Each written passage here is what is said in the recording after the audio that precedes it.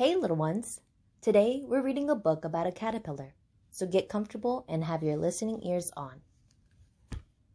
The Crunching Munching Caterpillar by Sheridan Cain, illustrated by Jack Tickle.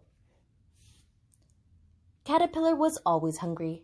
For weeks he crunched and munched his way through the fresh, juicy leaves of a blackberry bush. One day, Caterpillar was about to crunch into another leaf when. Bzzz! Bumblebee landed beside him. Wow, said Caterpillar. How did you get here? Simple, said Bumblebee. I have wings. Look. Oh, I'd like me some of those, said Caterpillar. Bumblebee flew up into the air and buzzed busily from flower to flower. I'd love to fly like that, said Caterpillar. Well, you can't, said Bumblebee. I've got wings and you've got legs. Your legs are for walking. I guess so, sighed Caterpillar. Bumblebee flew off to the next bush. Watching Bumblebee fly had made Caterpillar very hungry, so he crunched and he munched until it was time for bed.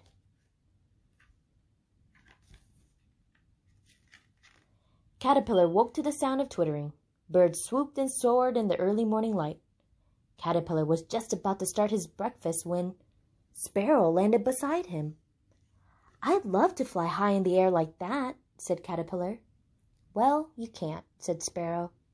You need to be light as a dandelion fluff that floats on the breeze. You're far too big to fly.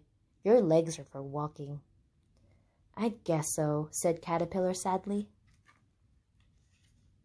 Caterpillar kept on crunching and munching all day and into the evening, when the sun began to set.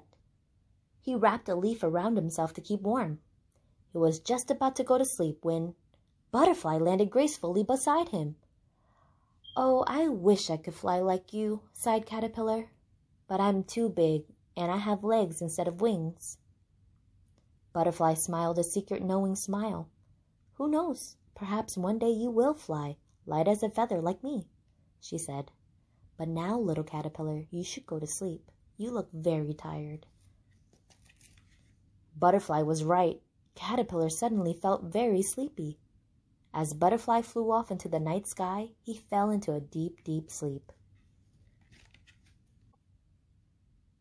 Caterpillar slept all through the winter, and his sleep was filled with dreams.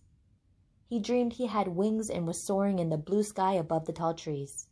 He dreamed he was a piece of dandelion fluff drifting towards the sun. He dreamed he was as light as a feather floating on the breeze.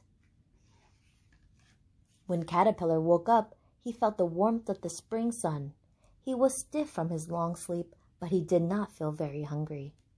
He stretched and stretched, and a breeze lifted Caterpillar into the air. Caterpillar was no longer short and plump. He had wings great big wonderful butterfly wings. Wow, he said, I'm flying, I'm really flying. The end. How wonderful! Caterpillar's dreams came true. And you know what? Just like Caterpillar, you can make your dreams come true. It'll be hard work, and there will be people who say you can't do it, or say your dreams are silly like Bee and Sparrow did to Caterpillar. But I'll let you in on a little secret. Only you know what you're capable of doing. So as long as you believe in yourself, you can achieve anything. You got this. I believe in you. See you later, alligator.